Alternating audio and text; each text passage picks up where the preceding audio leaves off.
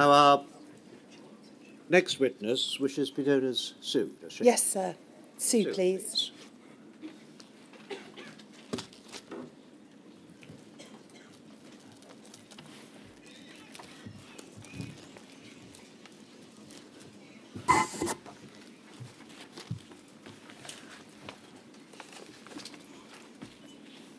Please state your full name. Susan Elizabeth Threakall. Take the book in your raised hand and repeat after me. I swear by Almighty God I swear by Almighty God that the evidence I shall give that the evidence I shall give shall be the truth, shall be the truth, the whole truth. the whole truth, and nothing but the truth. and nothing but the truth.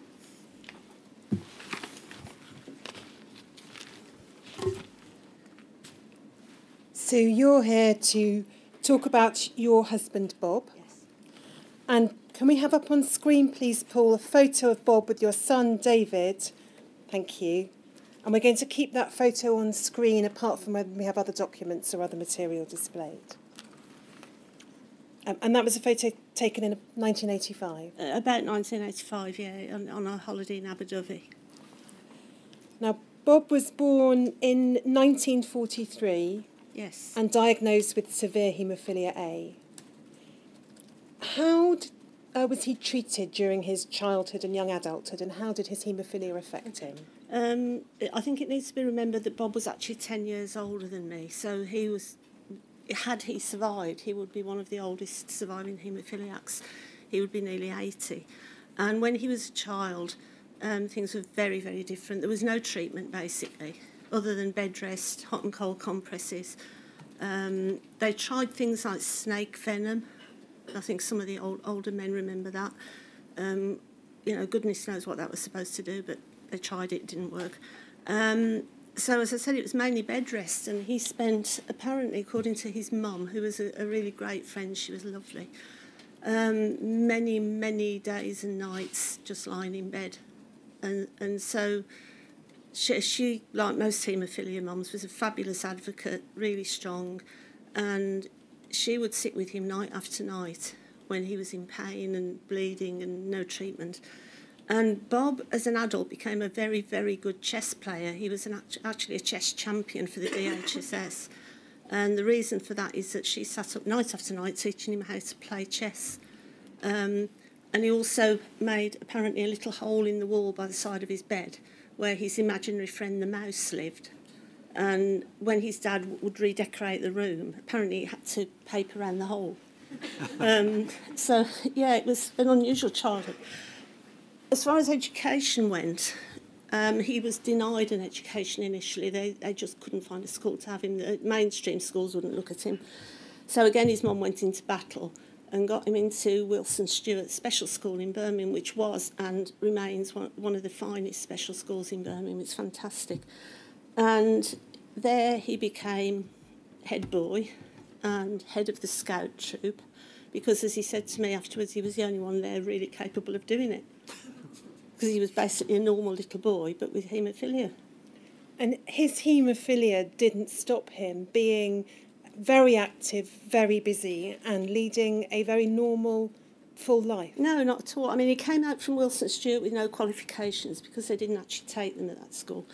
And he took himself off to night school, got whatever he needed to um, get into the civil service, and made a, a pretty good career out of that.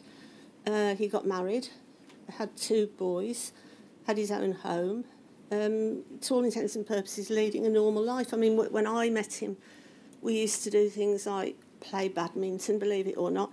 And to see a haemophiliac playing badminton is quite an interesting spectacle. But then I'm rubbish at badminton, so I, I would run up and down in front of the net frantically trying to find the shuttlecock, and he would do this kind of giraffe walk at the back.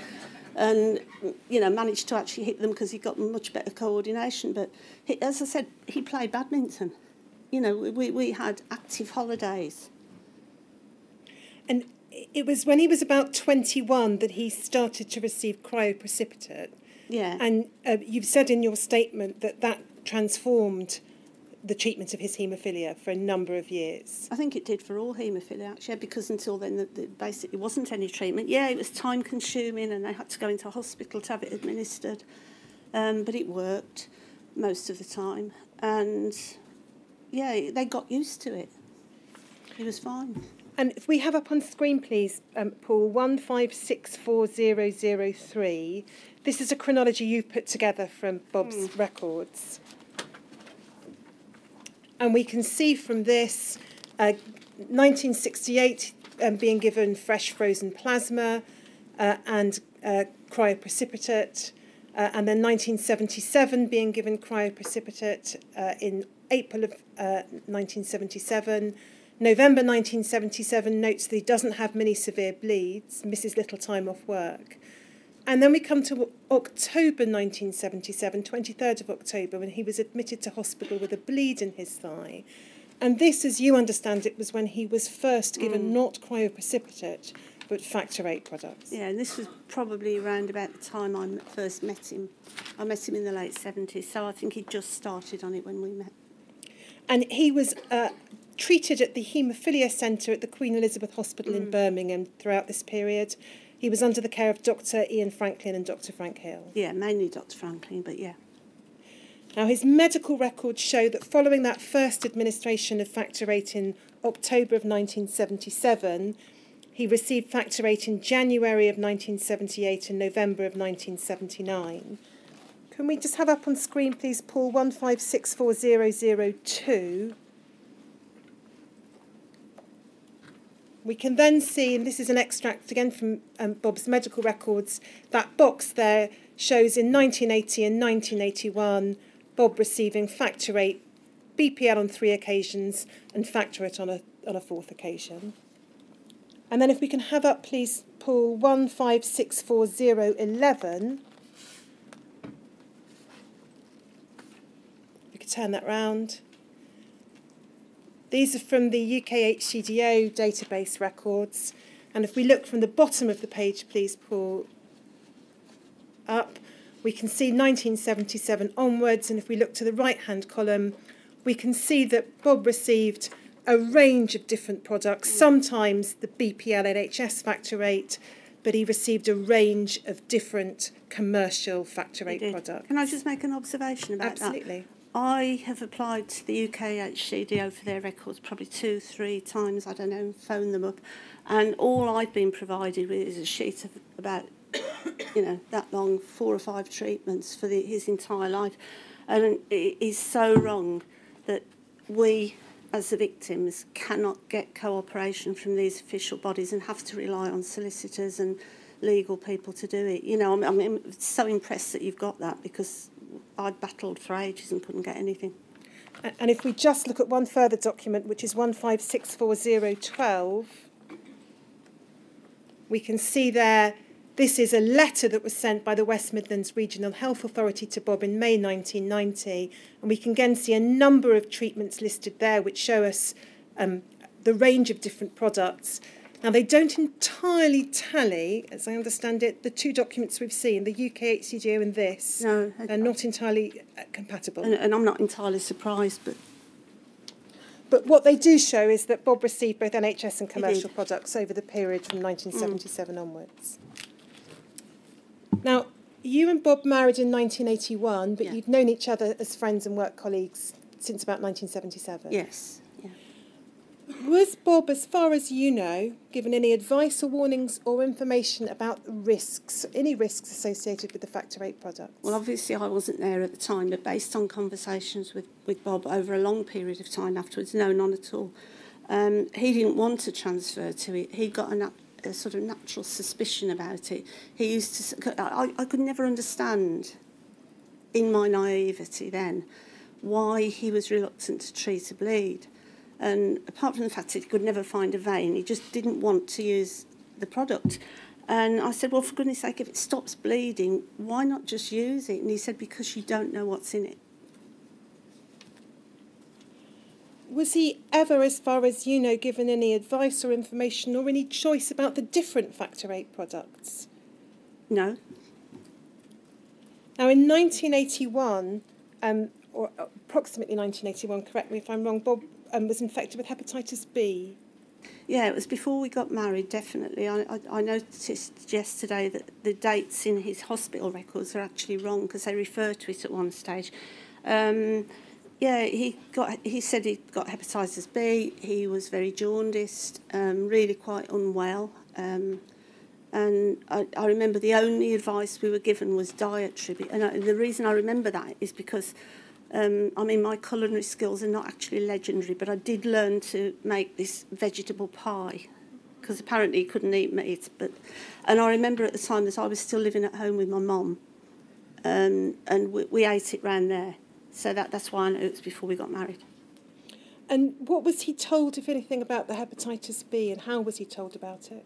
It's transitory. Um, you know, it'll go away in time, won't do you any harm. You know, just get on and get better and live your life, basically. Uh, and it was information that was given to him on his own at a regular clinic Mm. appointment. Um, what was the effect of the hepatitis B? Did it pass? It did, but retrospectively, I mean, you can look back. I mean, hindsight's a great thing, but I think the damage to his liver began then. Um, as I said, he was clearly very unwell while it was active. But then, you know, we based on the information we were given, we just kind of forgot about it and got on.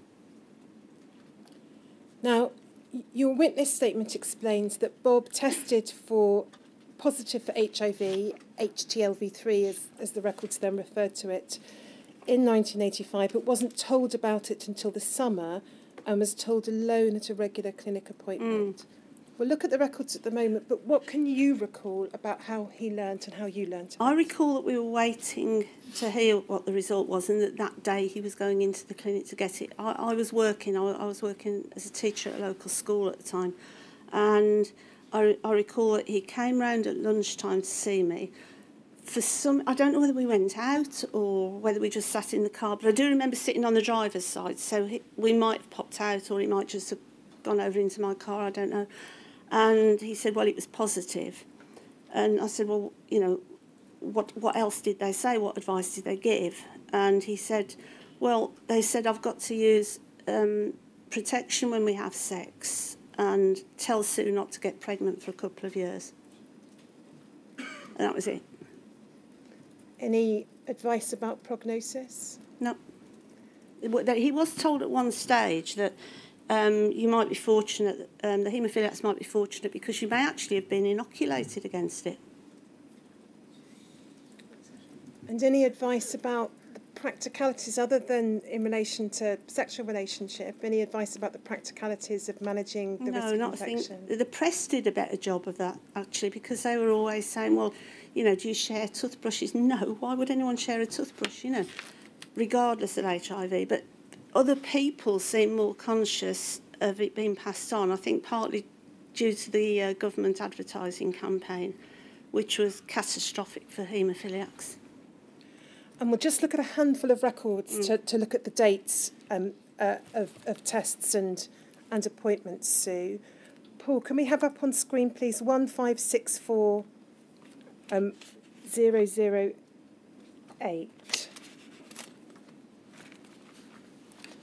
So we can see here, top of the page, 23rd of January 1985. It's a reference to Bob attending, had venipuncture for HBV and HTLV3. So blood taken for testing in January of 1985. Uh, and then if we look at, please, 1564014.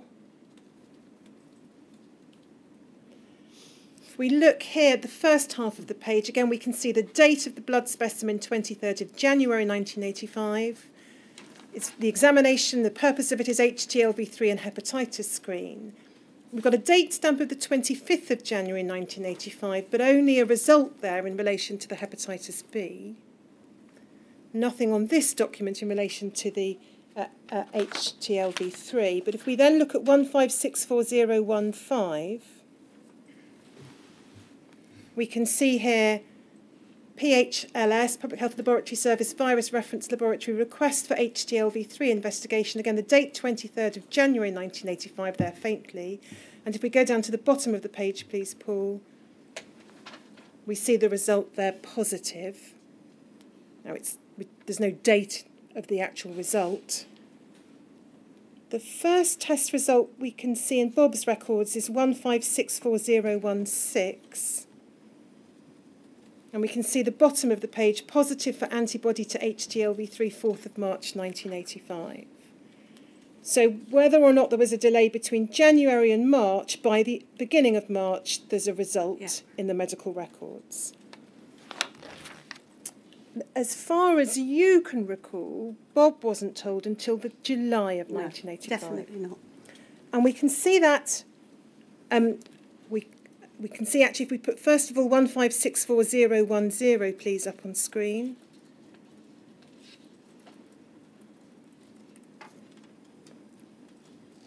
So it should be, there a second page to that? Thank you. We can see there there's an entry for the 6th of April 1985. So this is after um, the test result that we've just looked at.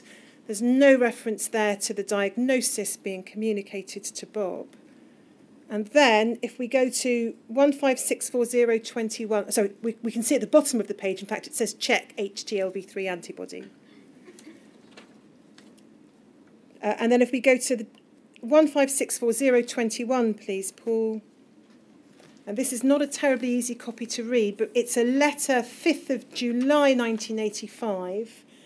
It's sent by Dr. Hill to Dr. O'Brien. Who wasn't actually Bob's doctor. He hadn't actually been Bob's doctor since before we got married. So I assume our GP never saw this. So it was sent to the Bob's former GP. Um, but it says this this man has severe haemophilia and has been trained to administer his factor VIII concentrate at home. But like 60% of our haemophiliac patients who've been treated with American factor VIII concentrate has developed antibodies to the HTLV3 virus. We're still unsure what significance to place on these results other than that he's been exposed to the virus.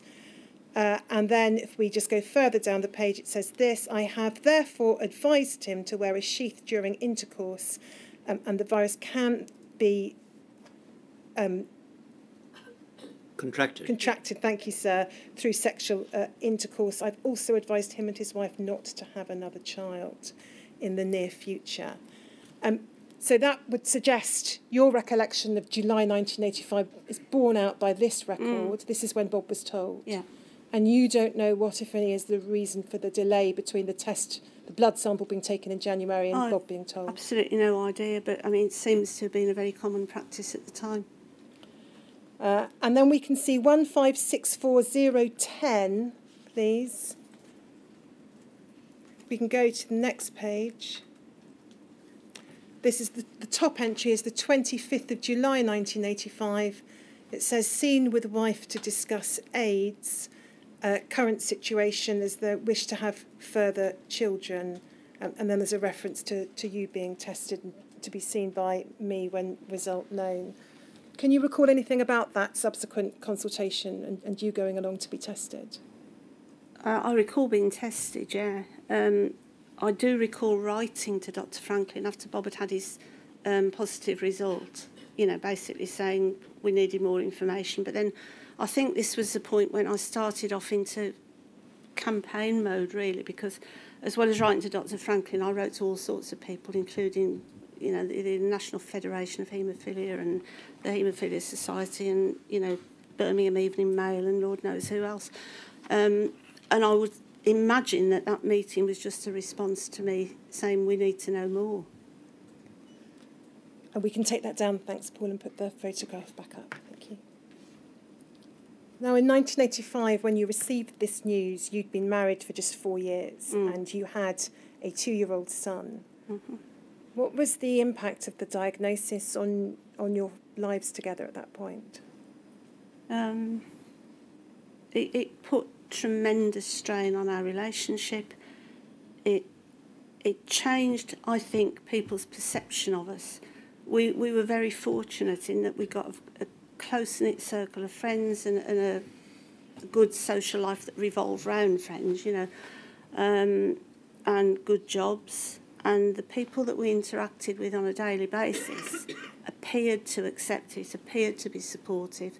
But you see, you, ne- you never know what's going on quietly in the background. I mean, it was interesting to hear the lady earlier on say about her son not being invited to many birthday parties. David wasn't. He was a very, very quiet child, but still at the back of your mind, you think, is that because we were the AIDS family and that's how we were known? And suddenly, as I said earlier on, all these adverts on the television, you know, the crushing tombstones and all the rest of it, whenever they came on, you would be thinking, well, that's us but it didn't feel like us because we didn't feel any different, you know. Um, and people started dying, you know, Rock Hudson we were talking about earlier on, various other people. And it became more and more real and more and more scary. You know, people were told, don't die of ignorance. A letter to Birmingham Evening Mail suggested that everyone with HIV should be instantly rounded up and put on an island somewhere off the coast of Scotland, I think was the preferred venue. Um, and, and you know, we, we, we were suddenly dealing with all this. Um, I told my amazing boss at work, he was one of the best people I've ever worked for, he was fabulous. Um, but even he said, Sue, be careful who you tell. And I thought, no, we've done nothing wrong. You know, I'm not going to be careful who I tell. If people don't like it and can't deal with it, that is their problem. Um, and I'm glad we took that approach. But yeah, it, it changed us as a family. It changed the interaction between us, between obviously him and his mom because she was worried to death. You know, his sister. Everyone was very protective of Bob. Um, and there was this non-information, there was this void of information, you know, people just floundering around, not helped by the fact that haemophiliacs generally, I know Bob certainly, and I know a lot of others, were, were stuck in, in a haematology unit when specialist AIDS units was, were springing up around the country. So they never had that specialism that was developing. They just had haematologists who were learning as they went along, basically. And you've described in your witness statement the impact in particular on Bob of his whole life becoming defined by the infection. Mm uh, and his plans and dreams crashing down around him. Yeah, I mean, Bob's first marriage had fallen apart, I think, through no fault of his own. He gained um, full custody of his two boys, which was unusual in those days. Had to give up his own home and then move in with his mom, who helped bring the boys up. Um, and then when he met me, it was kind of a new start. You know, we had a, we bought this beautiful old Victorian house. Um, strictly speaking, actually he bought it, if I'm being completely honest. Um, you know, lovely garden, we had nice holidays, we both got good jobs. Then David came along to complete the picture. The boys always lived with us, you know, the stepsons from day one. Um, so he got this kind of second chance, and then the whole thing was ripped away, you know, the rug was pulled from under him. You, prior to the diagnosis, you'd been wanting to try for a second mm. child. Um, but Bob was desperate not to infect you. He was, and and he is quoted as saying that I was desperate for a second child, but obviously he'd already got three, so there wasn't the same yearning for another baby, really. Um, I wanted one so that David had got a sibling closer to his own age, because obviously the, the other two were, were, were quite a bit older. and I, I must admit, I got a bit like a dog with a bone, you know, because I'm not very good when people say, well, you can't do that. Stop it.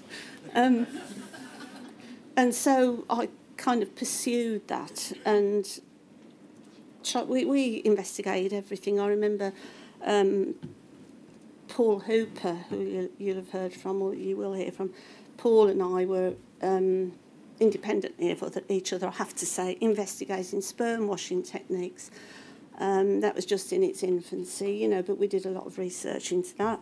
And um, I wrote to the Oxford Haemophilia Centre to, you know, to see what they knew, knowing that they were the, the reference centre, the biggest centre in the area. And we, we were eventually offered um, an appointment down there. Um, do you want to hear about that now? Or? Yes, absolutely. Oh, well, we, we saw um, Dr. Rizza at Oxford, and he he gave different advice, in my opinion, to everybody else. He was kind of saying, well, if you know, if you want to go for it, yeah, there's a risk, but and then he went on to say that people don't like discussing their sex lives, and there's obviously there's clearly a bigger risk with anal sex And people don't like to tell you if they've been indulging in anal sex. And he was basically saying that the heterosexual transmissions were probably through anal sex. So as long as you don't do that, you should be okay. That didn't go down very well with the Queen Elizabeth. And were you getting different advice Yeah, from the Queen Elizabeth totally Hospital? different. Yes, it was basically don't. Bob's physical health started to deteriorate. What can you tell us about that? He wasn't too bad until he was put on AZT, and after that, it was just catastrophic. It was it was like slipping off the side of a mountain. Um, he got multiple infections; they were constant. You know, it was um, tonsillitis, or it was um, a, a urinary tract infection, or um, he'd have a chest infection, or something would be wrong somewhere. He was never free of infection. He lost a tremendous amount of weight. He started looking like an AIDS victim, but that didn't happen until AZT was started. But then the huge doses they were giving people in, in those days, he was on uh, 1,200 milligrams a day in two divided doses. You know, which I said at the archer inquiry is enough to kill a horse, and I think it probably is. And he started to have night sweats, fevers, bouts of diarrhea. He always felt cold and he had Uh, difficulty yeah. swallowing. He, he did. Um, he had oral thrush, which was m- more than likely straight down his esophagus, yeah, and he was having problems swallowing. Um, and yes, I've just got this vision of this man cold all the time. We've got a picture of Bob at the beach on his very last holiday in August 1990, which we'll show. Paul, it's 15640018, please. And we can see how much weight Mm. Bob had lost. When he saw that photograph, I should probably get struck down by something in a minute because when he saw that, he was horrified. You shouldn't have taken it. You know, he, he was appalled himself. Um, and the background to this is that, yes, it was our last holiday. It was in Pembrokeshire, and we'd um, booked a holiday cottage, which turned out to be completely unsuitable for various reasons that I won't go into. David had his seventh birthday during that holiday. I contracted um, Campylobacter food poisoning, which is like norovirus times two. Uh, I was just so ill. If I look back, and this is not me being dramatic, I promise, I should have been in hospital on a drip. You know, I'd got uncontrollable vomiting and diarrhea. Bob ended up with a bleed. We both ended up at the local GP, and then the public health department came down to check me over when they found out what was wrong. And Bob's attitude was just, you know, you- you've just been so difficult, and look at the mess you're making, you know. And this wasn't the man I married, and it, it was like, well, why can't you drive? Why can't you do it? You know, you know, it's so hard. That beach is actually Pendine Sands um, in Pembrokeshire. It's the one where they do the world speed records, and in those days, um, you could actually park on the beach, and that's why we were there because he could barely walk. I could barely walk. I mean, I, I, I was just about upright again, um, and that was his one venture out of the car. Paul, we can take that down and put back the photo of Bob and David. Thank you. You, described Bob to the Archer inquiry in these terms, Sue. You said he was just an ordinary man living an ordinary life. He was a great dad, partner, brilliant friend. He was good fun. He was practical, dependable, reliable, and as honest and honourable as it was possible to be. Yeah, I stand by all that. I would also add that he was very old fashioned, I suppose, because of his age and his upbringing, and he would refer to me as my good wife. Or he'd say, he'd write in letters, your good self. You know, it was very ar- archaic but very sweet, you know. What was the effect on Bob emotionally, psychologically, of his increasing ill health? he just changed. His personality changed. Um, I remember one day when it was probably a few, couple of months before he died. I had been to get my hair done, mainly to get out of the house. I've got to be honest. And I came back in, and David, as I said, was seven. We had a long sort of living room joined onto the kitchen. You know, they'd all been sort of, walls had been knocked down and things. And David he wasn't running, but he came down from the kitchen to the television at the other end of the living room as a seven year old would. And Bob said, Will you just stop him running around? You know, and it was, I remember thinking, this is so unfair on me, on David. He was doing nothing wrong at all, but he just couldn't cope. I can't remember what he was like with the two older boys, but I think they generally kind of kept out of the way. And in fact, um, Paul had left home anyway by that stage, so And you've described in your statement Bob becoming very, very frightened. he was, excuse me, he was frightened, yeah. Um, he was terrified, um, particularly of PCP pneumonia, which he knew he was susceptible to. And the slightest cough or sneeze, you could see the terror just etched on his face. And again, uh, this is like confession time, but um, one night he'd been going on all day saying, I think I might have PCP, sure it's not pneumonia. And he'd basically got just a little bit of a tickle, you know. And he, he it sounds awful, he wasn't actually ill that day. And in the end, I just couldn't stand it anymore. And I just walked out and went up to my friends up the road and just spent an hour up there and crept back with my tail between my legs later on. But it, you get to the stage where it doesn't matter how much you love and care for someone, you can only put up with so much criticism and so much negativity, you know. It got to the stage where he didn't want you to go out or go anywhere. He No. wanted you to be there with him. I was talking to the milkman one day. We'd had the same milkman for years, and we were just, and it was probably, you know, rubbish weather, you know, do you think it'll snow, and I'll have a couple of pints of semi skimmed or whatever. And I went back into the living room, and Bob said, What were you talking about? It's the milkman, you know. Then on another occasion, I booked to go on an art course at the local library. It only lasted a couple of hours, it was just a one off. And I remember we had to, we were given pastels and we had to recreate this. I think it was a Renaissance type picture, that one with the women in the bar, you know. And I was really pleased with what I'd done. The, the tutors were excellent, and I absolutely loved every minute of it. And it, it was just a break for me. I went outside, and Bob was standing there with David. Do you know how long you've been? What have you been doing? You know, and it just makes you feel, well, what else can I do? I try and get everything right for everybody. I try and, you know, keep all the balls and, is it balls or plates in the air? I don't know. Um, but either way, there weren't any in the air because they just get crashing down around me, you know. And Bob was also very angry. Mm. And he was angry in particular, your statement says, because he had not been given the opportunity to make his own informed choice No. about the treatment he'd receive. But you see, they, there wasn't a choice because what they did, the UKHCDO deliberately phased out the production of cryoprecipitate.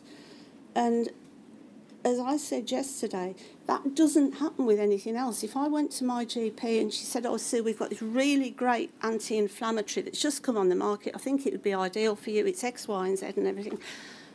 If I decided to start taking it and it didn't agree with me, I would expect to go back and she'd say, well, never mind, we'll go back on whatever you're on now. But that didn't happen because they took away all choice. There was nothing left for them to, to go on to. And were, was Bob ever offered, or you ever offered, during the time that you're describing, any psychological support or No. counselling of any kind? No. Um, we had a couple of people, Mary Fletcher and another lady called Mary from Oxford, who's talked to us in Oxford and they came up and talked to us in Birmingham, but they weren't proper counsellors. They were lovely, but they were just social workers. Just, I don't mean just just social workers, you know what I mean. Um, then we pushed and pushed and pushed as a patient group to get somebody appointed at the Queen Elizabeth, and they eventually appointed Shirley Mallon as a social worker. And Shirley was magnificent; she was great. But again, it wasn't counselling. No, I mean the only time I've ever got close to having counselling was when um, three or four years ago the government allocated a pot of money to um, the C Trust, and you could apply. And I thought about it for a couple of weeks, and I thought, well, actually, yeah, for me and David. So I applied, and it's no easy thing to admit that you need help, you know. Um, and they sent me the forms out, and I filled them in and helped David fill his in. We got the forms sent off, and after a bit, I phoned them up, and they said, "Oh, we've got no money left." Despite everything you've described about Bob's health, he carried on working as a DHSS Mm. executive officer un- until about six months before he died. He was determined to work for as long as possible. Yeah, he loved his job. But the point came when he he could no longer work. Yeah. What can you tell us about the last weeks and days of Bob's life? Okay. Before I go on to that, I'll just say that I actually gave up work in the summer of that year because things were intolerable at home and at work. I had a new boss who, although he knew about Bob, had no empathy or understanding at all. I would tackle it differently now. I'd get in touch with the union, try and get compassionate leave or something, but he clearly thought I wasn't doing my job properly, which I probably wasn't at this stage. And he used to say, I need you here early in the morning. Now, bear in mind, I'd run the school as an acting head for two terms before he came, so I think I knew roughly what I was doing, but you need to be here earlier. You need to be here later. I'm sending you on management courses. And he sent me on management courses that involved me going away from home for only for days, but a long distance to travel back. And I remember one day breaking down on the M5 and just, and I don't do this, but just sitting sobbing on the hard shoulder. I just, it, it was awful. So yeah, I gave up work then. Um, Bob's last Christmas, 1990, 1991, was very difficult. I mean, we've got photographs of him sitting at um, neighbour's house, and you look at the time, you think it's normal in a way. You're kind of living with this day to day and you don't realise how bad it is. You look back at the ph- photographs and think, my God, how could you not have realised how ill he was? But we were never told. We were never told he was terminal. Our GP was told. There's a letter in Bob, Bob's notes saying that it's palliative care only. We were never told. So I, I, I certainly wasn't expecting that, that he would die then. Um, he deteriorated very rapidly. It was a horrible, horrible winter. We had an awful lot of snow. It was very cold. We got a big house. I kept the heating on full, plus, you know, gas fires and stuff, but you could never get warm. He started to go kind of blue tinged. You know, that's the only way I can explain it. You know, nails, lips, and so on. And what we didn't realise that was it, his chest was so bad that he just wasn't able to, to getting the oxygen that his body needed. It wasn't just the cold; it was it was a physical thing. Um, the reason we didn't realise it was that he'd had an X-ray at the QE, I think early January, which apparently showed shadowing on both lungs, and they did nothing. Uh, this is a man who's at very high risk for PCP pneumonia, and they did nothing. He may well have had antibiotics from our GP, I can't remember. Um, but certainly, as far as the hospital goes, they'd obviously given up on him and decided he was going to die anyway. So um, they just uh, let him go home. And, and in contrast to that, a few years ago, I had a really bad chest infection, ended up coughing up blood and all sorts of nasty things. I had chest x rays immediately, I had a CT scan. I had to have regular CT scans every six months for the next two or three years, and that is standard treatment. That Well, it's gold standard treatment, really. He could, he he wasn't even allowed that. You know, shadowing on both lungs. Okay, go home and die, basically. Um, he did his last piece of television work. He used to enjoy doing the press work, but he really didn't want to do that final one because he was so poorly. But he got up and did it. Um, he was due to go into hospital on a Monday um, because they were going to fit a nasogastric tube to try and give him some nutrition because he was so emaciated. I didn't know at the time that they'd also ordered a whole battery of other tests. I mean, why would you do that on someone who's clearly dying, you know? Um, by the Sunday, the day before he was due to go in, he was so poorly, I mean, so desperately ill. I was just absolutely frantic. I just didn't know which way to turn. I made various calls to the Queen Elizabeth Hospital, and their attitude eventually was, oh, well, all right, if you insist, bring him in then. So my best friend and I managed to get him into the car. Uh, it didn't occur to me to ring an ambulance, but I don't know, A&E wouldn't have been the best place anyway. Got him into the car, took him to the back entrance at the QE, I had to pester a porter for a wheelchair because he couldn't walk. We got him into the wheelchair, got him up onto the ward, and the doctor turned round to me and said, Well, he doesn't look as bad as you made out he was on the phone. Um, they then did a series of tests. They x rayed his chest and did loads of bloods and everything. And all of a sudden, there was all hell let loose. I got taken into a small room with three doctors, I think, and they were showing me the chest x-rays and clearly trying to tell me that Bob was dying and I just wasn't having any of it, you know, it just wasn't going in. And he said, but he's got no, do you realise what we're trying to tell you? He has no, or relatively no normal lung tissue left. It's all been destroyed. So by this time, Bob was on 100% oxygen and still blue.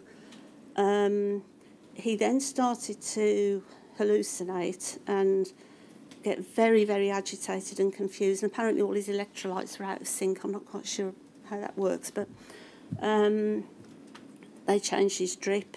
I remember I went to shut the curtains in his room because it was late, late afternoon, early evening.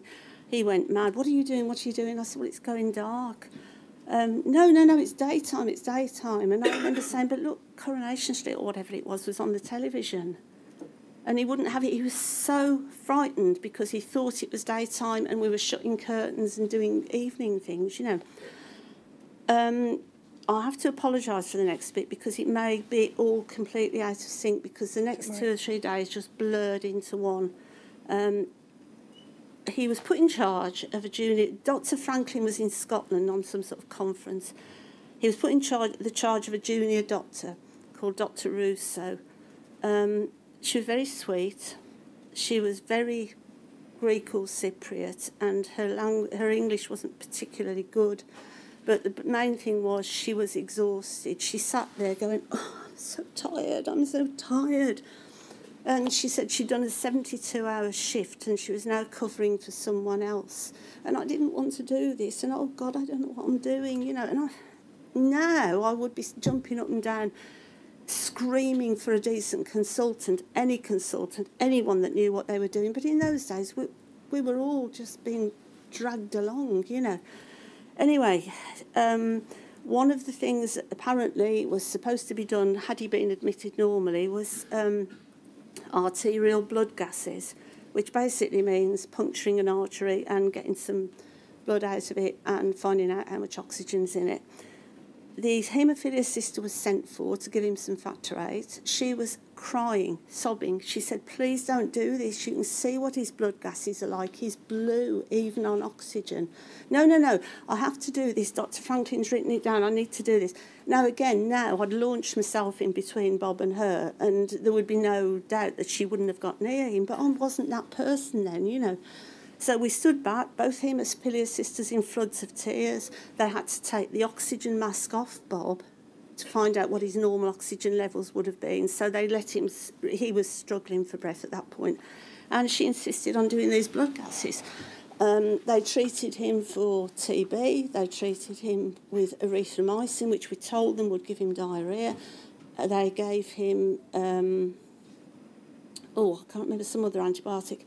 But then they also decided that they would give him pentamidine, which is what the sort of, sort of second line treatment for PCP, because he was allergic to Septrin, which at that time was the first line one. Um, she, the, the doctor brought me the leaflet in the middle of the night, you know, the leaflets that go with the drugs. And she said, Can you read this through and tell me what side effects I'm supposed to look for? I don't understand it. So I did. And it was basically they had to be monitored, they had to lie flat, they had to have their blood pressure regularly checked, because the main thing was a, a catastrophic drop in blood pressure. Um, that afternoon he had appalling diarrhea. Luckily I had a friend with me who was a male nurse and we cleaned him up. There was not a nurse in sight, you know, we sorted all that out. Um, his mom came along and we gave him a bed bath. This is all quite biblical really. It's weird looking back on it, you know. And his sister came, and then we realised how poorly he was. So we started making phone calls. We got his son back from university in Brighton. Um, his oldest stepson came. David was poorly himself, and also only seven, and it was night time, and he was in bed. You know, um, Bob had perked up a little bit. He'd actually had a little bit to eat, a bit of jelly or something like that, and he was able to swallow it, and he was quite lucid. And then all of a sudden, his blood pressure absolutely hit the floor. And there were doctors and nurses flying around all over the place. Oh, incidentally, one other thing was that I was convinced he was seriously dehydrated. because his drip ran out, the one with the pentamidine in, and I was interrupting handover meetings, attacking every nurse I could find. Will you please come and put some more fluids up? No, no, no. We'll do we'll do them when we give him the next dose, and it is recorded in his notes post mortem, dehydrated, um, and they wouldn't listen. And it was really at that time that he det- deteriorated very rapidly. Anyway, um, it's suddenly at that point occurred to me that actually this was really happening. He was dying, and I remember Paul standing, my stepson standing behind me with his arms around me, Bob in the bed. Bob's last words were, "Is everything sorted?" And I know he meant financially, so I lied and said, "Yeah, it's all fine." And he then just crashed, and this young doctor, terrified, the look on his face I'll never forget, hauled him up the bed. I've no idea why. Somebody said it might have been a technique to raise the blood pressure, but I would have thought you'd better off lying down for that. I don't know why they did it, but his arms flopped out. It looked like he was being crucified, and actually, that's exactly what was happening to him if you think about it. Um, I don't remember getting home. I remember being taken to the room. I remember going back to see Bob in the in in, in the room that he was in, and they'd put this horrible, hor- Why do people do this? Why do we treat people with so little respect? This horrible, horrible quilt over him that you know my nan would have thrown out, and I think they thought they were doing something nice, but he's lying there dead with this horrid thing over him. So anyway, we went home. Don't know how I got home. No idea.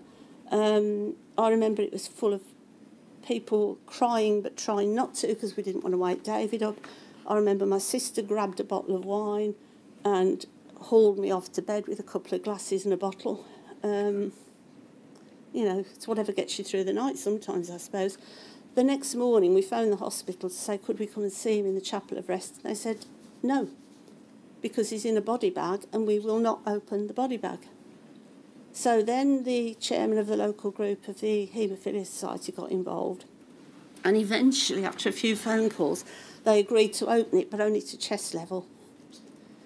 So we all trooped along to the, well, it's a mortuary, really, isn't it, at the hospital. And again, we were met by Carey Howells, the haemophilia sister, who was in floods of tears again. And she said, Sue, I've tried, I've really tried. I can't shut his eyes. His eyes aren't shut. What do you say? We went in, and Bob was lying there from the chest up.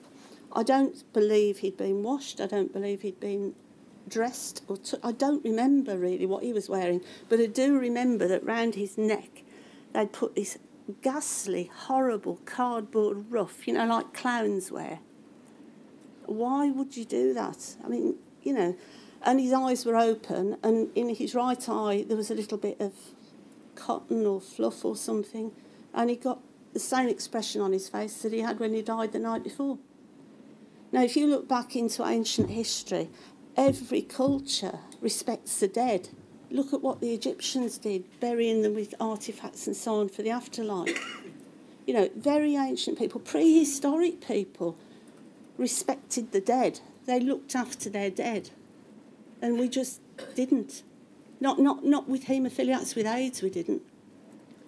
Bob died on the 20th of February 1991, Mm, and he was 47 years old. he was. And it was only after his death, some time after his death, you learned he'd also been infected with hepatitis C. You found a post mortem reference to non A, non B.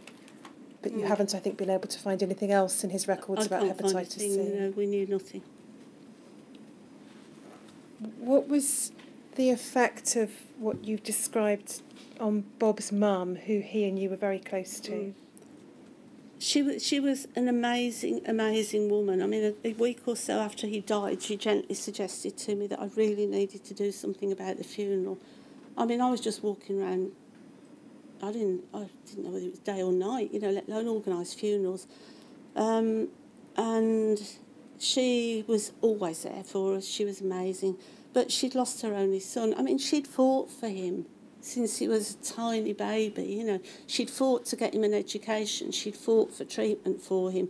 She'd watched him through three, uh, two marriages, not three.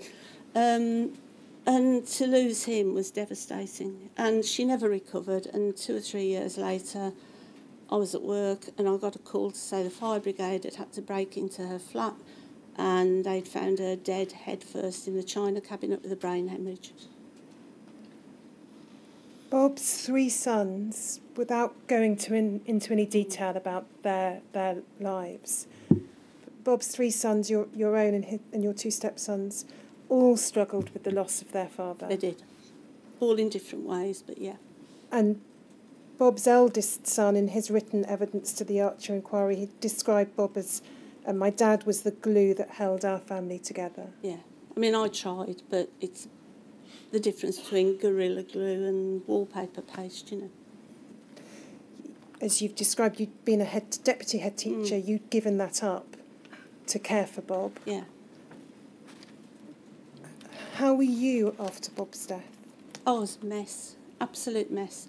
Um, I did try and go back to some teaching. I mean, I, I loved my career, absolutely loved it. Even now, I will dream about children in a classroom two or three times a week. You know, all the things that I used to love doing with them. I, I think I was good at my job. Um, but it, it, I could never get it back. And yeah, as I said, I was a mess. I, I, I lost weight. I, oh, I just, I couldn't cope with being a mother anymore. I couldn't cope with being a sort of homemaker anymore. It was just so difficult doing all that on my own.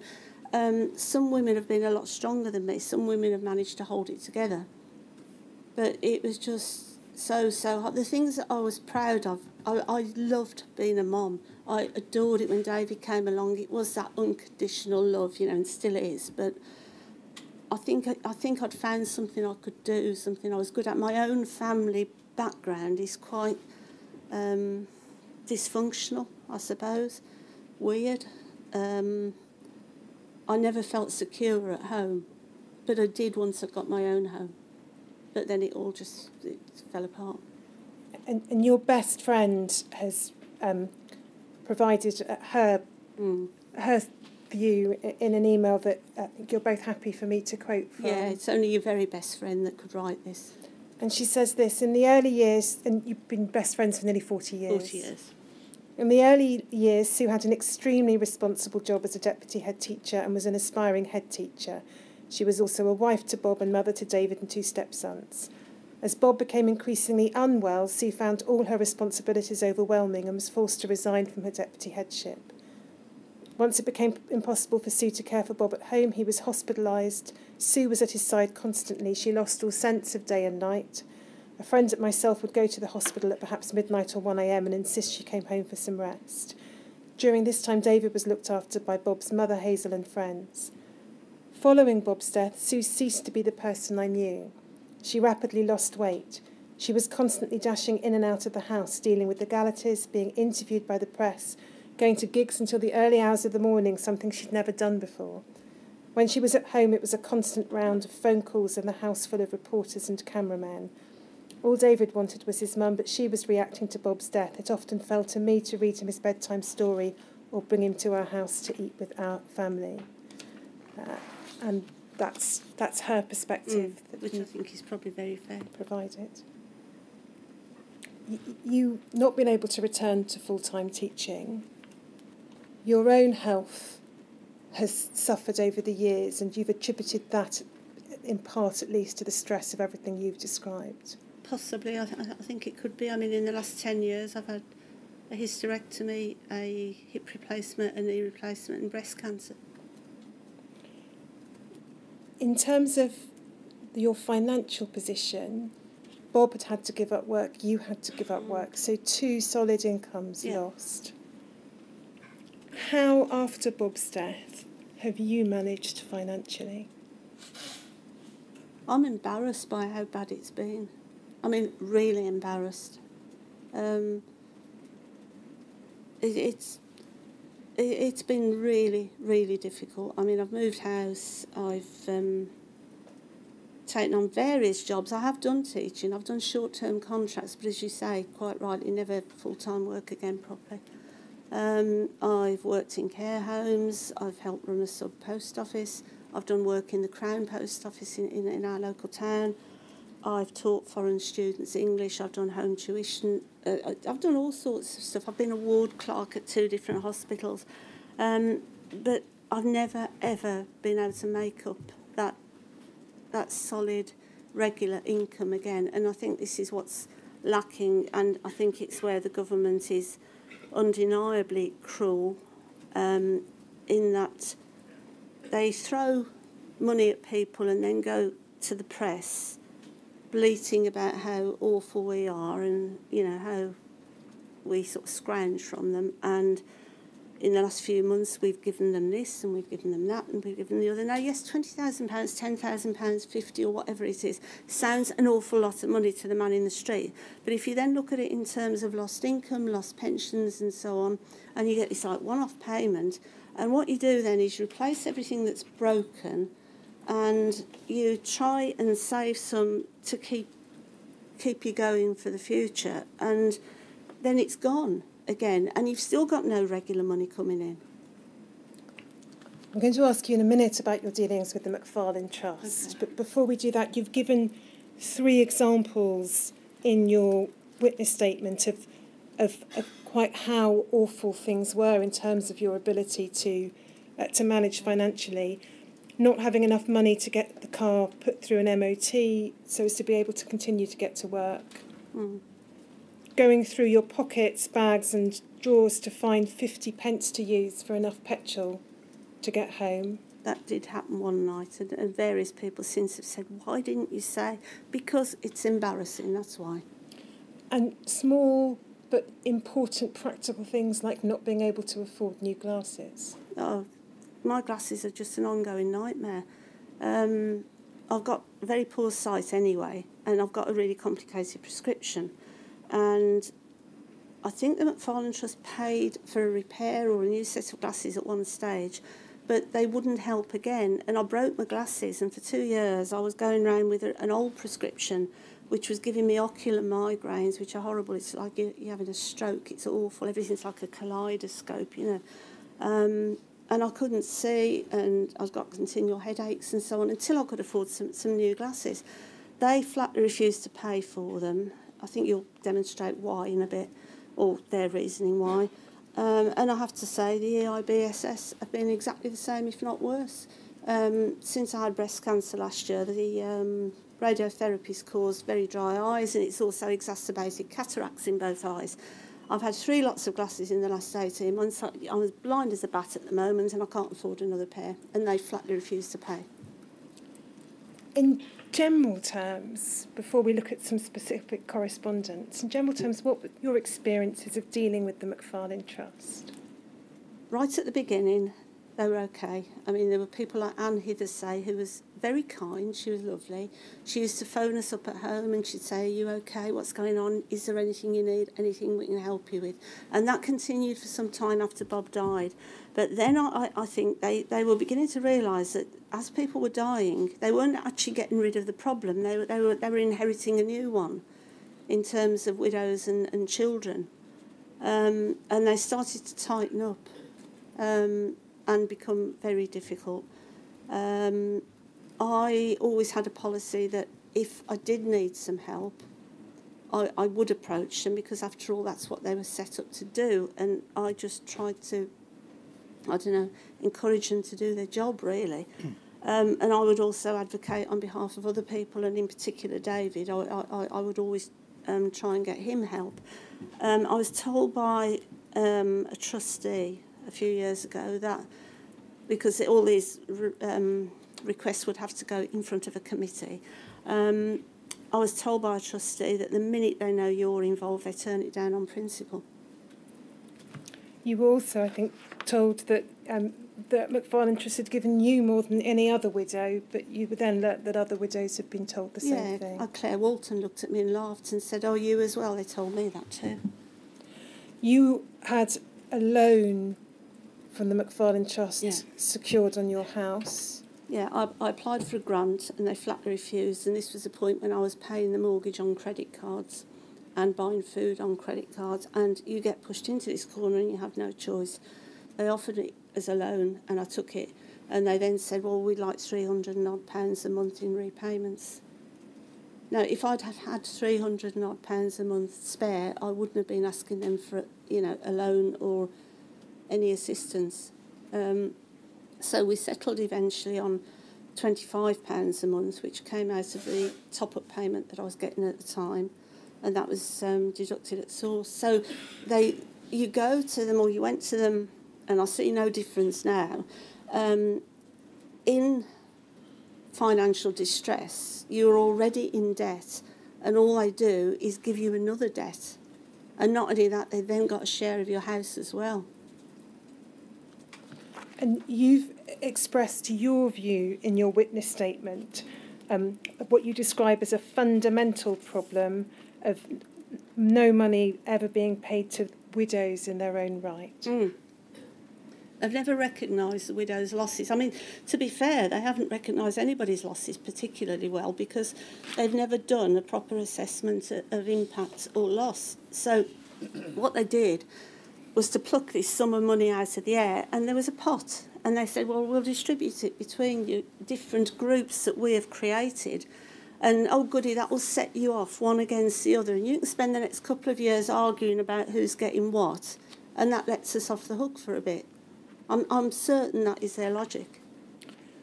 A number of years after Bob's death, you began a relationship with a new partner. Mm. How did that affect the Macfarlane Trust's dealings with you? Well, basically, they're, they're, they they suddenly decided they'd come up with a policy until I asked to actually see the policy when they started referring to it, I think, as an unwritten policy. Um, that they do not give grants to women who have moved on, for example, finding a new partner. Now, my argument there is it's threefold, really. First of all, the only reason we found a new partner was because the old one had been murdered by the treatment. And I don't use the word murdered lightly. The second thing is it makes two assumptions. First of all, that any new man in your life is perfectly happy to take on full res- uh, financial responsibility for you and is able to do so. And the second assumption is that the, the widow or the woman is equally happy for this man to waltz into her life and say, Well, don't worry, dear, you just sit at home and knit or something, and, and I'll de- deal with all the finances. You know, this is not the 1800s. I had a really good income. I'm not even talking about Bob's income. I'm talking about my income, which was lost, my pension, which was lost. It should be a really substantial pension, and it's about 8,000 a year. And you had a letter after you moved to Devon from um, Oh. the Macfarlane Trust, um, which started, you've described in your witness statement, in, with these words when you moved to Devon with your new partner, leaving your son behind in Birmingham. I will never, ever forgive for saying that, ever. And I'm a very forgiving person. But no.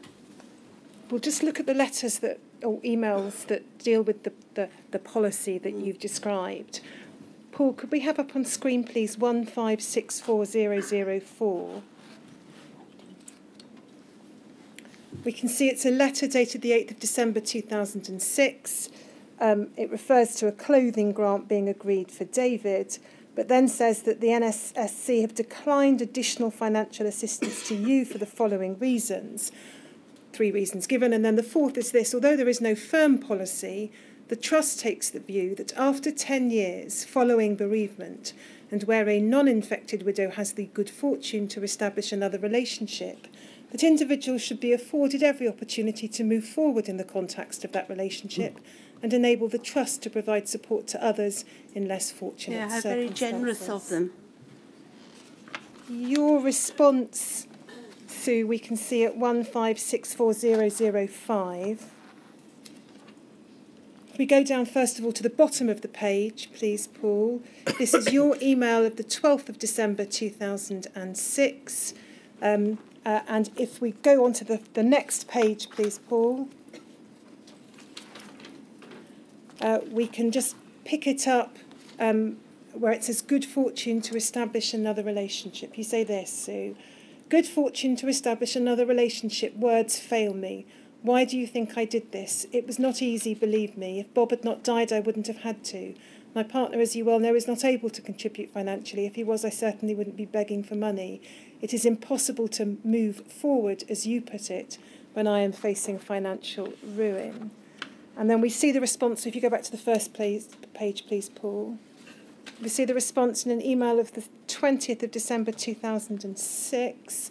The penultimate bullet point says this the 10 year cut-off plan is not formulaic. It is an approximate time frame that the trust applies to those who have been bereaved but have managed to gain some sort of independence, i.e., embarking on a new relationship being just one component of that phase. The issue then came up. And then they wished me a Merry Christmas at Yes. the end. Yeah. So I should say, in the context of you having said in your email, I should like to ask that you reconsider your decision and ask that you afford me a grant at least to get through Christmas. Um, Paul, could we have up on screen next 15640006, please? This is the 16th of June 2008. Dear Sue, the NSSC met on the 12th of June 2008 and considered your request for financial assistance towards your glasses. Unfortunately, they have declined a grant for this purpose as the Trust does not give grants to widows who have either remarried or are in a new relationship. I would like to draw your attention to my earlier sentence about a new relationship. The Trust has to make difficult choices, and one of our concerns are those widows who do not have, as the Trust would see it, the advantage, which I appreciate is not necessarily financial, of the support that comes from being in that position. I am well aware that this may not be acceptable to you, but it is a policy of the Trust. Mm. You've not, I think, ever seen a written policy to that I, effect. I, I did keep asking for it, but no, never. But then they used to change the trust deeds with such alarming regularity without actually consulting with anybody about it. Who knows? And then, for the sake of completeness, there's one further communication that deals with this particular issue, 1564007. And it's the 3rd of July 2008. So you've obviously, I think, gone back again and just, please, could you have the money for some glasses? the NSCC met yesterday and considered your appeal for financial assistance towards your glasses, but unfortunately they've upheld their original decision. Uh, and then it refers to the a query you've raised about support to those in new relationships and says this they asked we've relayed the following to you that it's long been known that widows who have remarried or are in a new relationship are no longer eligible for financial assistance from the trust unless they have children by the primary beneficiary who are still dependents of the trust. However, in exceptional circumstances, the trustees may agree financial assistance at their discretion. It has become clear that some widows in new relationships wish to disengage themselves from the trust, and we take the view that respect for a widow's privacy is paramount. Well, the last bit's irrelevant. Um, you know, other widows may well wish to disengage from the trust. I, I chose not to. Um, I don't know. As I just said to Andy, it's a gift that keeps on giving, isn't it? We can take that down, please, Paul, and put the photo back. Ms. Richards, just before you, Yes. you move on, um, those, those letters uh, appear to um, penalise uh, Sue for her marital status. Uh, it occurs to me that certainly by the time of the Equality Act in 2010, uh, discrimination on marital status was unlawful. Yes, not in fact, in, indeed, marital status, um, think, but, but any kind of further relationship. Well, yes. e- effectively, at the same point. Um, perhaps um, some inquiries can be made as to what the legal position was actually in 2008. Certainly, sir. So, in your capacity as a member of the Tainted Blood Committee, you saw a number of emails from the Macfarlane did, Trust yes. uh, a few years ago. You've drawn a, a, a, a, the inquiry's attention to three that you recall. You don't yourself have copies. Hmm. Um, um, three examples. I wonder if you could tell us what those are. Yeah, we were um, given the emails by Gareth as chair. Um, he sent them round to a few of us. Um, I don't know how they were, were obtained, but they've stuck in my memory. Um, after a time, I know that Martin Harvey and I believe his wife travelled down to South Wales to give a formal apology to Hayden. Because th- if I remember right, again, they didn't actually want to let them in. Um, and after the apology, Gareth asked that we should all delete these emails from our hard drives. which we did. And I was quite surprised when I went searching for them a few weeks ago that I really did delete them and they weren't on any other hard drive. Um, but there were three, there are three examples. Um, the first one refers to Gareth and Hayden, and those of us that knew them well love them to bits. They were like chalk and cheese, but they were fantastic men, fantastic advocates for the campaign. Um, and, you know, we miss them daily. And they were referred to in an email, an MFT email, as the Welsh terrorists. The second one, somebody's marriage had broken up. We, we've had a lot, lot of relationship and marriage breakups in our community, and it's quite obvious why, you know, the strains and the stresses and so on. When someone finds a new partner, I, I think it should be a, a cause for rejoicing. You know, it should be something good that's come out of it. One gentleman had done that after his marriage broke up, and the name of the new partner cropped up, and somebody said, "Oh, who is so and so?" And the reply in an email was, "Oh, that is X's latest squeeze." And the final one, and I think most people in this room have heard this bounced around, but I've actually seen it in the email. Um, we, as a community, that means people who've sat here, talked to you, me, Andy, Jan, Colin, all these people, Aid, Mark, are referred to as the great unwashed.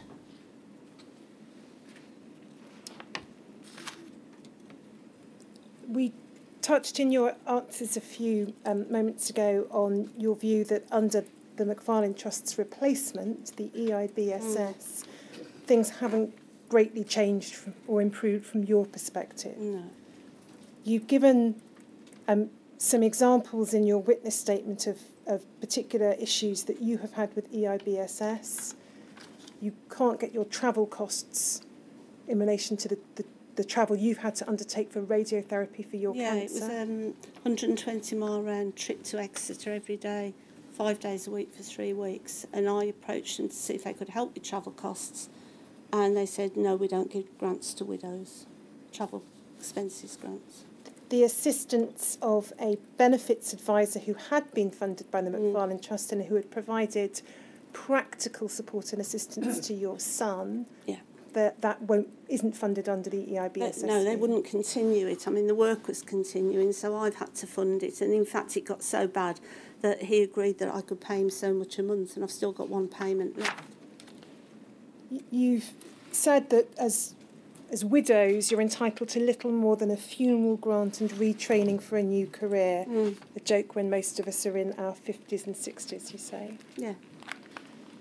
And you've referred to the discrepancy in your witness statement between the position of widows outside of Scotland and those within Scotland. Yeah, I think it's a disgrace. I mean, I make no judgment on the amounts of money that have been awarded to groups um, that is not my responsibility. But what I would say is, if something has happened to you under the same circumstances, then you should be afforded equal and fair treatment.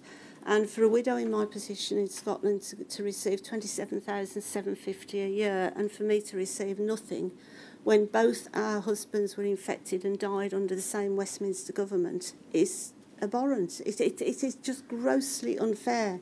It's I don't know what it is with the widows with Westminster. They have clearly been trying now for some years to get rid of us. Um, there was a, review, one of many reviews, uh, two or three years ago, and one of the options they looked at was to taper off support to widows with a view to exiting them from the scheme. And I believe that's more or less what they've done.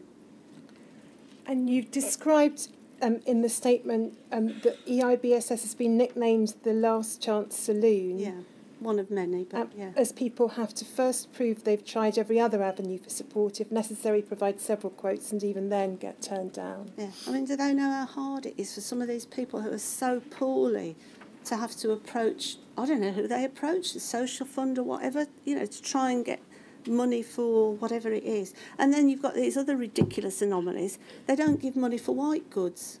Why not? What is likely to go wrong in your life? The washing machine will break down, or the fridge freezer, or something. Um, I, I know a haemophiliac who went without a fridge in his home for about three years. Do you know anybody without a fridge? And they wouldn't pay for it because it counts as white goods. And I've never been able to get any rationale behind that either. You've spent many years since Bob's death campaigning uh, involved with tainted blood. Mm. Uh, you've described it as an unpaid full time job. Um, yeah, I think it is. Not just for me, but for, for a whole group of us, yeah. And that's involved your meeting, your, your statement describes attending meetings, demonstrations, giving interviews, asking questions, continuing to ask questions Mm. when dissatisfied with the answers you've been given, providing support to others. Mm. You gave evidence to the Archer inquiry. Can you give us a sense of, of what it's been like over the years for you, this, this dominant factor in your life in terms of the campaigning that you've done? Yeah, I mean, I've written down that, that for 30 years they've kept us uh, deliberately, I think, dancing on the end, end, end of strings. You know, we make ribbons, we make bracelets, we commission T-shirts and, you know, ties, and we turn up suited and booted and trying to look respectable, and, and we, we write letters and we go to Parliament. You know, I must be one of the few people in the country that, well, apart from people here, that can walk into Westminster Hall and think, yeah, again, you should be walking into Westminster Hall thinking, wow. But we are, you know, we've done it so many times and we go over the same thing. We've had politicians crying in the House. You know, please sort this out. I entirely blame what's going on behind the scenes in the civil service. There is some, I, I don't know what it is. But yeah, I mean, every now and again we manage to put the government in a, in a little bit of a corner um, because we come up with some sort of evidence that they can't argue about.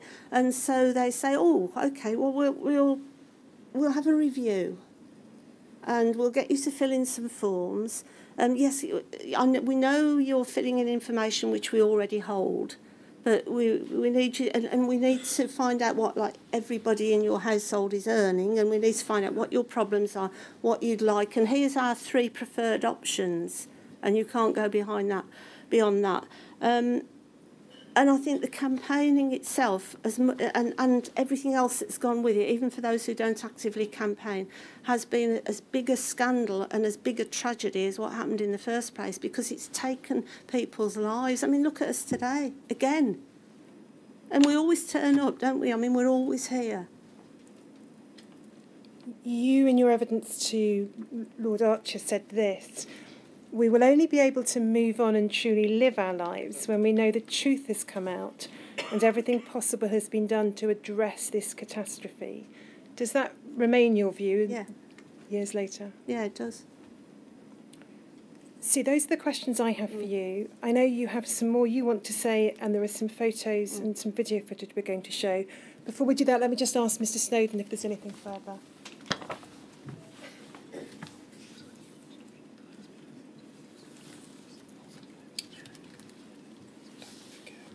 Just, just one thing, um, I- and it's the perspective of, of your stepson, Paul, Mm. um, in his evidence to the Archer inquiry, just one small passage um, that Mr. Snowden asks me to draw attention to. I never saw my dad as outside people did. Although disabled by haemophilia, he was a very active and involving person.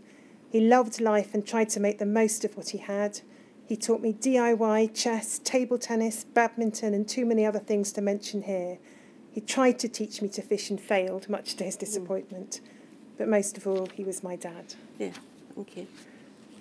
So there are, I think, you have some closing observations. I do, but there's one other thing, Yes. if, if I may, Yes, of before I course. do, I do that.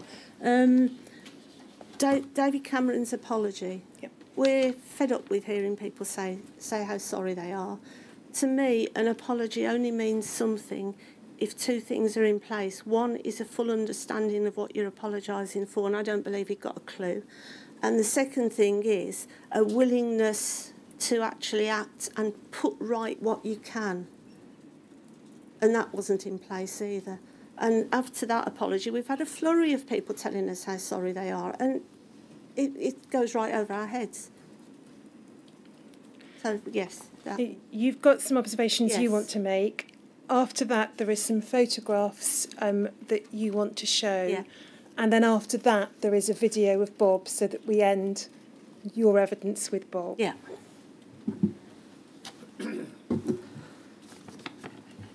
If anyone had told me in 1985 that I would still be campaigning in 2019, more than 34 years later, I'd probably have said they were stark raving mad. That I am still campaigning demonstrates to me that there is something fundamentally wrong in this country. Time after time after time, we have seen victims having to fight for many years in order to achieve justice. Most recently, the Hillsborough families whose campaign, like ours, went on for decades. There has to be a better way. One clear reason for this is that people are having to do battle directly with the perpetrators.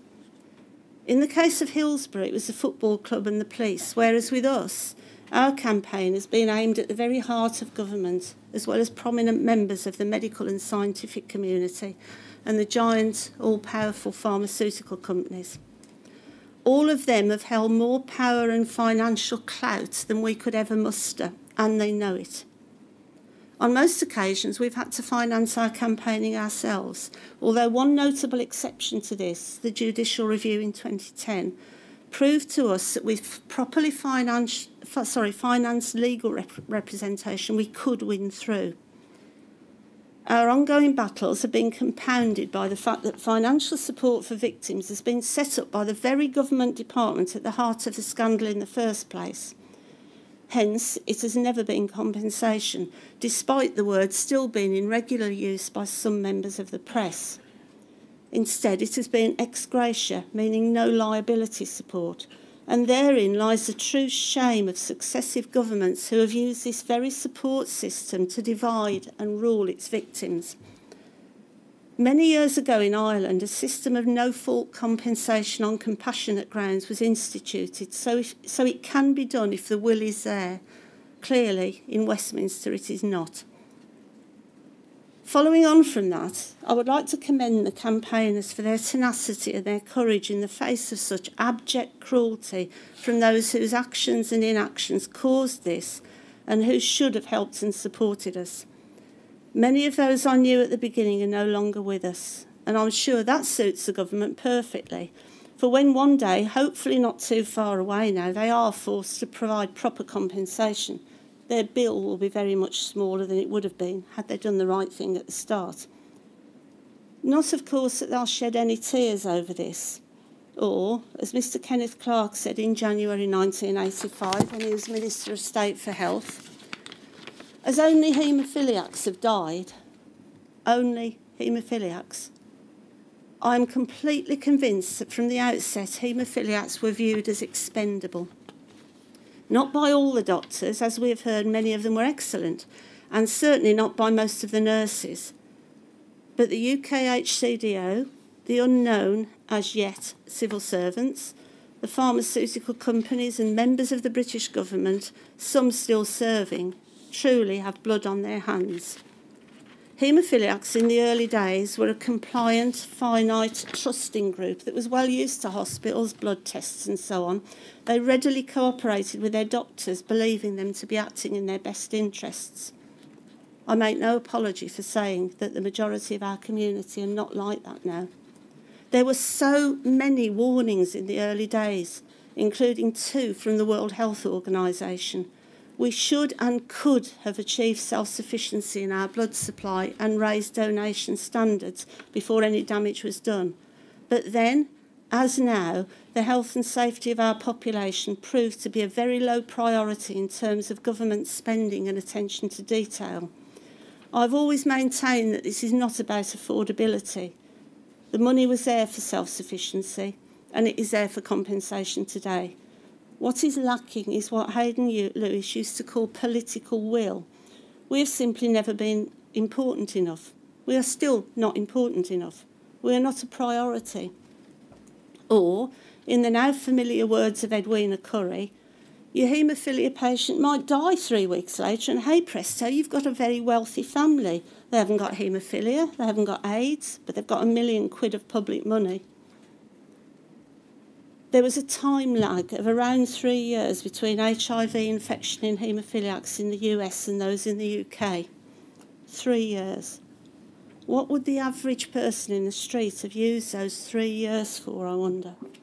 I suspect that the vast majority would have put urgent measures in place to protect haemophiliacs from over, over here from suffering the same fate as those in America. After all, we knew perfectly well decades before this time that blood can carry viruses, particularly hepatitis, and we knew that we were importing vast amounts of American plasma products.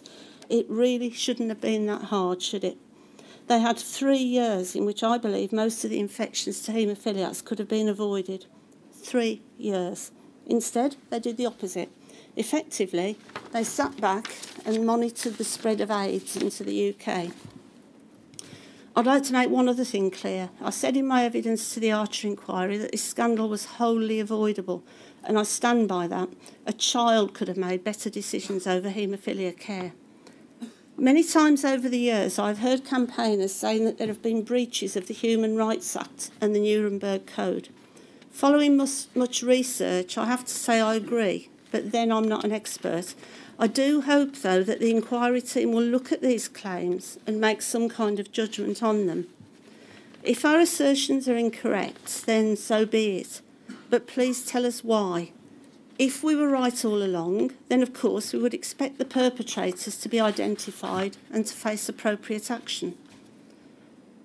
I want to say a few words about HIV infection. We've all heard the utterly devastating testimonies of those who were infected with hepatitis C. The virus and its treatments are undeniably horrendous. It is a slow, creeping, insidious taker of lives, and it is taking more and more. It should be remembered that haemophiliacs have been exposed to multiple viruses, prions, and other contaminants through their treatment. But for those with HIV, there is a greater burden than is often acknowledged. There are, very few, there are very few survivors today from the co-infected group. Less than a quarter remain with us. And the way they have been treated by the Department of Health and the support schemes has been utterly despicable. I am absolutely certain that in the early days when there was no treatment whatsoever and when life expectancy was so low that the government believed that this particular problem would soon be out of the way. Fast forward three decades and the treatment of the co-infected has been appalling throughout. The extra impact of the two viruses has never been openly acknowledged by government, despite the fact that studies commissioned by them have proved it conclusively. The fact that this small group has acted as guinea pigs for every HIV medication as it comes on the market has been ignored. I'm sick to death of people telling me it's okay now as AIDS is treatable, just like diabetes, in fact. No, it certainly is not. Those who are still alive contracted the virus around 30 years ago, and by the time any treatments came along, their immune systems were shot to ribbons. They all face daily a nasty drug routine, which, if they are lucky, keeps the virus at bay. If the drugs stop working or they stop taking their meds, they will die. The first drug that came along, AZT, was initially prescribed in such high doses that the majority of people who took it did not survive. Haemophiliacs, along with other early victims, have been guinea pigs or pioneers for every treatment for HIV as it came on the market. Because of them, and in particular the small group alive today, we are now able to treat HIV, provided it is detected early. This country, and indeed the world, owes these people a huge debt of gratitude. It's often been said that the government is stringing this out until we're all dead, and I believe that could well be the case. Over the years, I've often said confidently to the press and to politicians that even if, when this happens, the campaign will continue, thanks to the children of victims who will carry on our fight. I have to be honest and say that often as I said that, I was thinking, will they really? Or will we, be, we all be forgotten when the last one dies? I'm so glad to be able to say that I was right. Over the last few years, the grown up children have risen like a flock of phoenixes and they're awesome. They're built on what we've tried to do, and their sheer energy and determination is quite formidable. I would like to take this opportunity to thank them all for their courage. Thanks must go too to Sir Brian and the inquiry team, including the technical squad, and to Colin's solicitors, all of whom have been incredibly supportive throughout and have granted me the privilege of giving evidence today. I'm sure we haven't been the easiest people to deal with on occasion. Indeed, we've probably driven you mad at times. But hopefully you'll realise why we're like we are. It's truly not personal, I promise. To be frank, it's all been a bit bewildering as we're really not used to the sort of treatment you've given us. I looked around this room earlier in the year and thought, all this for us. So thank you for treating us with kindness and dignity. To the victims who have given testimony, we applaud you for your bravery in telling your story.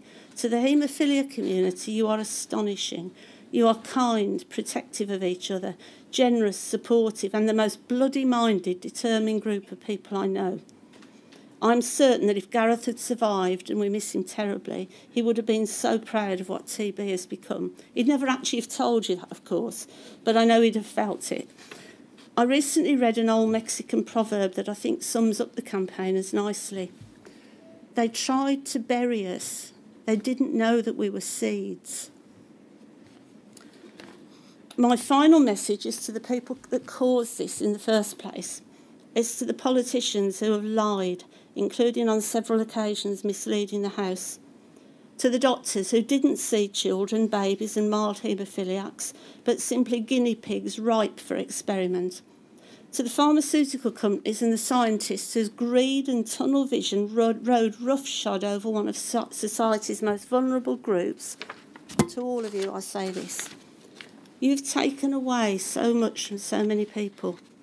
Your actions have taken people's health, their financial independence, their dignity, often their homes, their families, marriages, and their friendships, and in thousands of cases, life itself, leaving behind bereaved families, orphaned children, and a grief that for many is still as raw as the day their loved one died. You've reduced many of us to rock bottom, but you know what? You can't take the most important things, the things that you yourself have lacked humanity, and the love that binds us together. I am extraordinarily proud of what I see every day on the TB Facebook group. If someone is down, there is a flurry of messages to support them. If someone has a problem and needs advice, that advice comes in shed loads. If someone is dying or sick, I see a gentleness and a reaching out to do what we can to help. When someone dies, virtual arms are wrapped around the family and someone is always there for them. This amazing support and compassion goes on pretty well 24 hours a day. I know a lot of nocturnal people. We know that we are just very little fish in a very big pond, and that because of your money and your power, you have always had the upper hand. But we have one overriding quality that gives me some hope, and that is the truth. We have only ever told it as it is, and it is the truth that has been heard so far by this inquiry. I and imagine I imagine hundreds of others, excuse me, are sick and tired of your platitudes and your tree hugging simpering.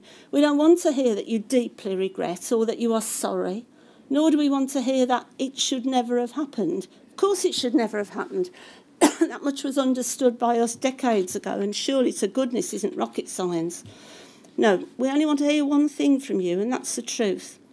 We want to know why human life was downgraded ahead of scientific research and making money, and why the victims you created have since been treated as second class citizens. If you have to be dragged kicking and screaming to this inquiry, then so be it. Please don't think that sudden memory loss, old age, or ill health will be an acceptable excuse not to turn up or to give inadequate evidence. You won't fool us, and I'm pretty sure you won't fool the inquiry team either. My hope then is that this inquiry will give us closure. But if it all goes pear shaped, then all I can say is that history will be your judge, and for that I'm very glad. Final thanks must go to Andy Evans for sitting with me today, and also the many other campaigners for their amazing support. A special mention must be given to my incredible and talented friend Richard Warwick, without whom the next bit would not be possible. I want to finish with a very short list of names. I must stress that they are no more or less important than anyone else who has died because we've all known huge losses. However, as people who have been associated closely with tainted blood, and in, who in some cases campaigned for decades, literally up until they died, They represent other campaigners UK wide who have quietly and privately suffered the same fate due to the wicked intransigence and abject cruelty of government. Their efforts have been no less valued. Having said that, of course, the first name is that of someone who never campaigned in his short lifetime, but who has become the one who gets us through the night and whose image makes us pull ourselves together when we feel like giving up. So, on behalf of everyone in Tainted Blood, please join me to remember the following with thanks and gratitude for what they did and what we have tried to continue doing in their memory. Paul, could you play the slideshow, please?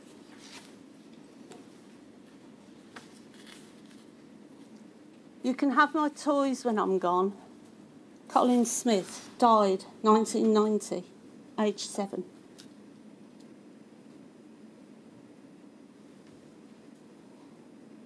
You don't know what's in it. Bob Threakall died 1991, aged 47. We've been given a life sentence without parole while those who are responsible have continued their high flying careers. Gary Kelly died 2008. What they're hoping for is that we'll all get picked off one by one, and eventually there will be no one left to answer to. Charles Loder died 2009, age 43.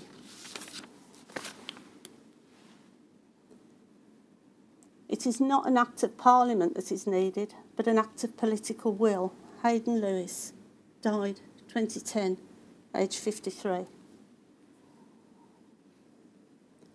Life's a bitch, and then you die. Gareth Lewis died 2010, age 52. You can't get worse off than dead. Mike Dorricott died 2015, aged 47. I've seen things you people wouldn't believe. All those moments will be lost in time, like tears in rain. Time to die. From the bedroom wall of Darren Flack, died 2016, age 47. They really have treated so many with so with little concern or respect it seems to me they make up the rules as they go along. Paul Hooper died 2017, aged 53. I'd like them to never enjoy a night's sleep ever again for what they did. Steve Diamond died 2018, aged 62. Thank you. And we're going to end with Bob himself. Yeah. Could you play the video, please, Paul?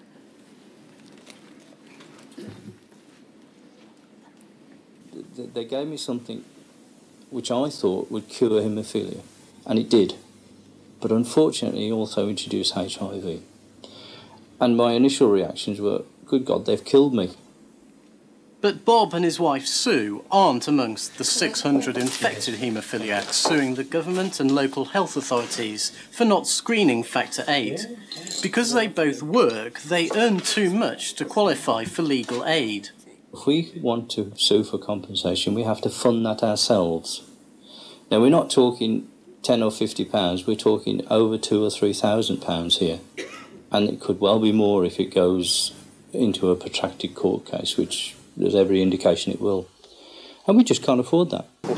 I would personally like to see it so I could actually sue for compensation. I'm not asking for a guarantee that we would win. I would just like the right, the privilege, if you like, to actually fight the case in the first place and, and prove that we're right. That you know it is their fault and therefore they should pay. You can't plan the way I used to plan for a future. You, you can't rely on things like insurance to provide for children because they just can't get insurance. Um, that sort of thing's all gone. Uh, it's just a daily basis now that I live. Um, there is no future. In 85, I was called into the hospital and told that a test had shown that I was positive HIV, AIDS, as I think they called it then. Um, and that was it basically. There, wasn't much else they could tell me at the time. And, and initially, it didn't really mean an awful lot. It was only later when we began to find out exactly what HIV/AIDS was, the implications of it, the fact that it had in effect shortened my life from normal to maybe five or six years at the most. You know, that was absolutely devastating. Absolutely devastating. Whose product were you taking? Whose Factor 8 was it? My records showed that I was given Armour Factor 8. These are Bob's medical records, with the date of every treatment and the batch numbers which show the Factor 8 that gave him AIDS was made by Armour. These people had a choice. I wasn't given a choice. I wasn't told what the choice was. You know, you can take Factor 8, but it may lead to. Or you can go back to the old system and have your bed rest, which was painful, but it didn't give me HIV. If we were to tell you that the company and others knew there was a problem, a serious problem, and had connived together, I think that's the right word, mm. to institute delaying tactics till they got their house in order, how would you feel about that? I'd be absolutely appalled because, I mean, what they've done now is sentence people like me to death by, by delaying whatever they delayed, tests or whatever it was. You know, I, I'd be outraged. It's absolutely incredible. Yeah, they, they've obviously taken many, many thousands of people's lives in their hands purely for financial gain. You know, I think it's totally immoral. We showed Bob the documents which proved that the blood companies led by Armour had indeed used delaying tactics to avoid testing and to carry on selling. Well, words fail me. It's absolutely diabolical that they put presumably profit before my life. Yeah, they were sitting around the table quibbling about money while we were injecting Bob with live AIDS virus. Yeah, which they knew about. And which they provided. That's, yeah, it's inhuman. It's absolutely appalling that they should even contemplate doing something like that. It really is. And do they know what they've done?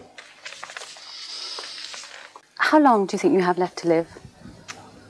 That's the hardest thing to kind of cope with, actually, because I'm not sure how long I've got. I've lost nearly two stone in weight over the past 12 months. And should that continue, then obviously I've only got perhaps another year or so to go. Um, hard to speculate. A year, two years. Who do you blame for all this? I've got to blame the government. It's got to be their fault. There can no, be nobody else that I can blame. They were the ones that, through the health service, gave me this factor eight, which would purported to do me good. And in fact, it's done me nothing but harm at the end of the day. Mr. Budgeon, didn't the haemophiliacs have the right to expect that blood that was given out by the Department of Health was clean, that it had been tested? Well, I don't know about the right. Of course, they hoped that it was uh, uh, clean, uh, and indeed, and indeed, the government hoped that it was clean. What what has to be proved is that the National Health Service was negligent. In the suburbs of Birmingham, nobody in the Threakall household ever dreamt they could be affected by AIDS. But Bob Threakall was a haemophiliac. Until they found out that Bob had become HIV positive, the Threakalls regarded themselves as a perfectly ordinary family. They had learned to cope with Bob's haemophilia, but now they faced another and more terrible misfortune. I suppose it hasn't all been bad luck, really. I mean, it was something which should never have happened. I actually first met Bob when I, I had a holiday job at his office and uh, I didn't know him very well at all. I just used to see him in the canteen and thought he was quite nice, you know, quite pleasant. Um, but it was some years before we really got to know each other when my sister actually started going out, out with his best friend and we started going out as a foursome. And uh, then he became best man at my sister's wedding. I was chief bridesmaid, and then the inevitable happened, you know, just like the stories. And uh, we got married and decided we wanted to start a family fairly soon. And had our little boy a couple of years after we got married. 83 was the date I was actually diagnosed HIV positive, uh, in, in the sense that that's when I contacted it. But I wasn't told till 85 when I had a blood test, which the hospital confirmed was HIV. Um, at that time, they, they couldn't really explain what would happen. Uh, the papers picked it up very quickly, and they were talking dramatically in terms of two years to five years life, and that was it you know, you die from fungal pneumonia or, or whatever. We knew he'd had a blood test at his normal clinic appointment a few weeks beforehand and that he was going on on this particular morning for the result. And he actually came and picked me up at work for lunch. And I remember we were sitting on the car park actually when he told me. And um, he actually said, oh yes, it, the test was positive. They don't really know what it means. They think that a very few people will go down with this disease called AIDS, but that I'll probably be all right. But they said that we're to take, use, use protected sex and we're not to have a baby for two years. And that was the whole extent of the advice we were offered at the time. Wouldn't happen with any other disease. You know, if, if you get cancer or MS or something like that, people have every sympathy and, you know, they're, they're all rallying around and fundraising and all the rest of it. But because it, it's got sexual connotations, you know, people, their, their, their attitudes change. I mean, if, if it's something like gonorrhea or syphilis, I suppose you can go up to the special clinic and get sorted out and no one need ever know. But, um, you know, with this, there comes a point when you can't hide it away any longer, although people try to. We know of people who are absolutely terrified that people will find out. You know, people who, men who, who are one of, say, five or six brothers, and they're all haemophiliacs, and they don't know who's positive and who's negative. They won't even talk to their brothers and sisters about it. They won't tell their parents. They don't want their neighbours to know. And it just wouldn't, it just simply would not happen with any other disease, any other illness. The last three months, four months, I haven't been able to go to work. A lot of it lately is to do with the cold. That's basically because of weight loss. I'm very glad that Sue's here because there isn't a lot I can actually do without sort of making myself breathless and that sort of thing. I occupy myself by doing jigsaws and reading and watching the television and listening to the cassettes and many things like that. But you haven't got the satisfaction of actually going to work.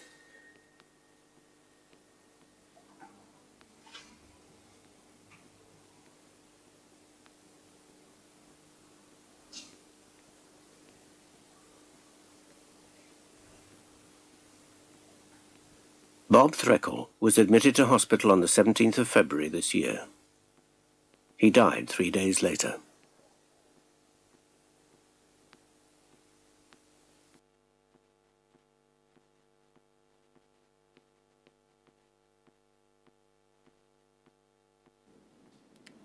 Thank you, Sue. Thank you. So, um, thank you very much. Uh, as perhaps befits a former teacher, uh, you've used your words to paint very vivid pictures. First, the first part of what you were saying, picture of the human being that Bob was.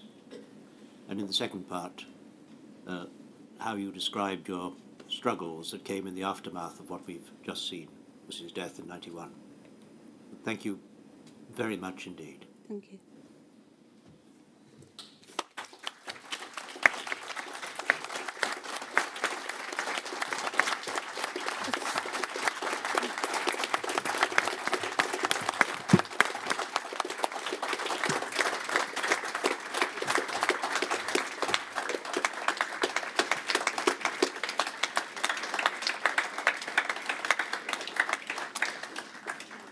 We'll take a break until 20 to 3. Thank you, sir. 20 to 3.